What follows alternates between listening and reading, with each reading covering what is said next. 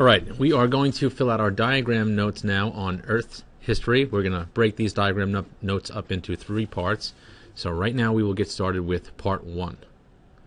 Our objectives here for part one are as follows.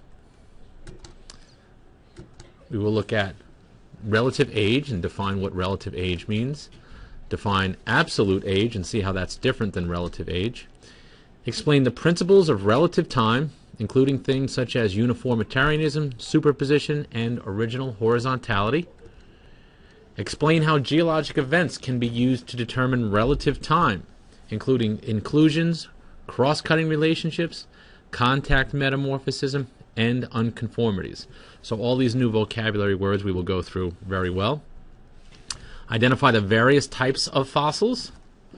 Explain how theories sorry, explain various theories of how life began on Earth, explain extinction, and define what an index fossil is. So let's get started here. First page Fossils and the past. A fossil is the remains or evidence of a living thing. So remember, pause if you need, if I go a little bit too fast so you can fill it in. So anytime there's a remain of something that was once alive, we call it a fossil. Formation of fossils. Most fossils are incomplete, which means you don't see the entire thing because usually only the hard parts of a plant or an animal become fossils. Any of the soft tissue would not fossilize. The soft flesh of dead organisms was usually eaten by animals or decayed before it could form into a fossil. So that's why you wouldn't find them and they're incomplete. Right now, you want to circle the organisms below that you would most like that that would most likely become a fossil. So we have a fish, we have a worm, looks like a sponge, a fly, jellyfish, and a seashell. So hit pause, circle the ones that you would think would become a fossil. Look at the clues up in number one and two to help you out. Okay, answers. The fish, which has a bone structure in it, the actually that's a hardened sponge coral. Sorry, that is coral. So my mistake on that one. That's coral, which is hard, and a seashell. Next page, part two. Most fossils form when organisms are buried in sediments. So that's why we'll always find fossils in sedimentary rock. So let's go through the process of this happening. Letter B sediments often harden and change into rock, sedimentary rock, right?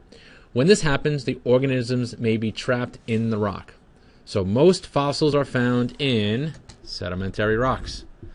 So step one, we have our fish, our living organism living under the sea.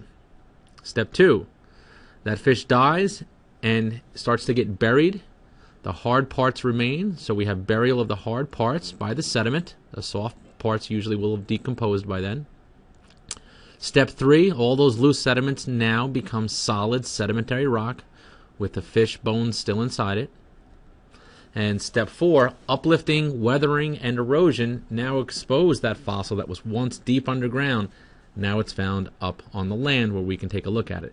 And that's important. If you remember, we found fossils upstate New York, which shows that that used to be an underwater marine environment which has been uplifted. So these fossils are proof to tell us that the Earth does move and we do have the plates moving around and things. All right, moving on to the next part, letter C.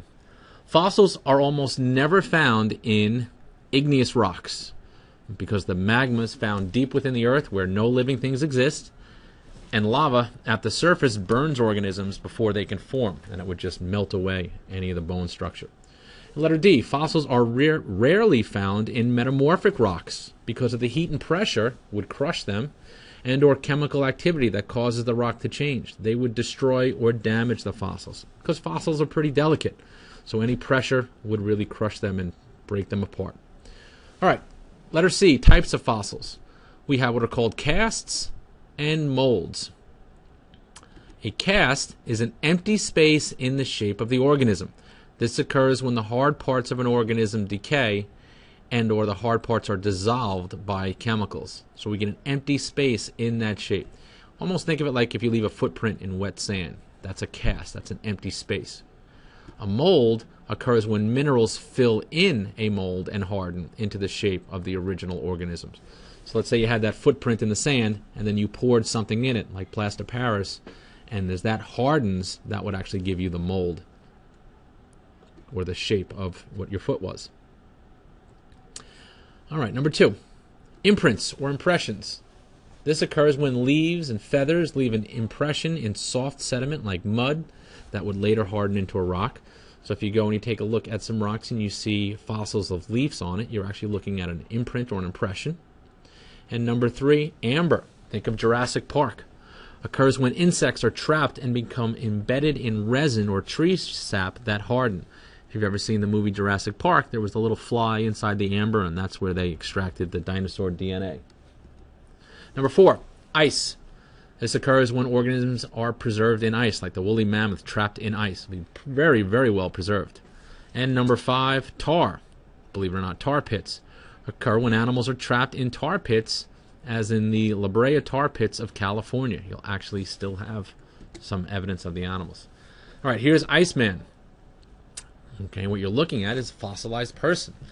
In order for a body to, com- to be completely mummified, as in this case, the body must first dry completely, then covered in ice and snow. The mummy was a male adult, remarkably well preserved. The condition of this equipment, of his, uh, sorry, the condition of his equipment and organic material also preserved in good condition. And this body is about 3,300 BC, or the late Stone Age, one of the oldest fossils that we have. And number six, petrified or petrification occurs when minerals are dissolved in groundwater, gradually replace the original tissues of a plant or an animal. So if you have find petrified wood, it looks like a log, but it's solid rock as those minerals get in there and replace the wood and um, make a hardened solid subject.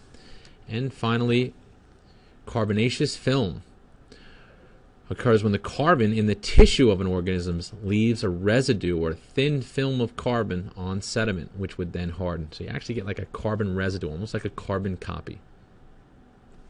All right, let's take a look at interpreting fossils. I, I wouldn't worry too much about what we just went over as far as uh, seeing a lot of questions on it, but it is something that is good to know the different ways that things can be preserved. Number one, fossils indicate that many different kinds of life forms existed at different times in the Earth's history. So we'll see everything from dinosaurs to single cell organisms to humans. So there's a whole bunch of different things that were alive. Number two, when fossils are arranged according to age, like you see in this picture here, you might see some similarities. They show that certain living things have changed or evolved over time.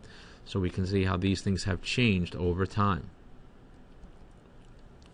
Fossils also indicate how the Earth's surface has changed, that uplifting I talked about before.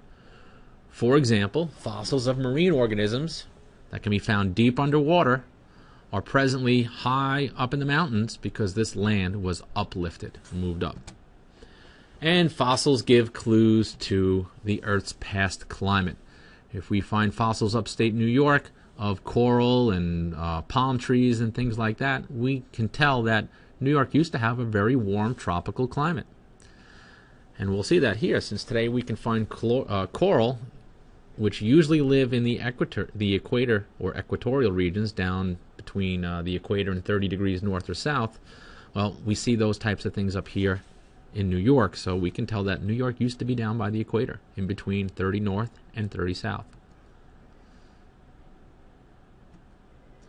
Fossils tell also tell us about the appearance and the activities of past life. Check out this guy; he's got some big teeth on him, right?